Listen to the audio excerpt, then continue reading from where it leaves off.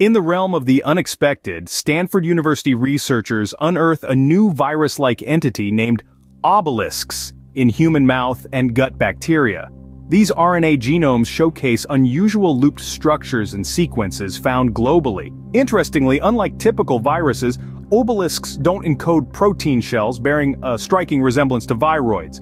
Simple infectious RNA loops lacking protein shells, primarily affecting plants. Enabled by advanced software analysis of microbial gene catalogs, this discovery suggests obelisks are more complex than standard viroids but less so than traditional viruses. This raises intriguing questions about their impact on human health and their evolutionary link with other virus-like entities. Life, it never ceases to surprise.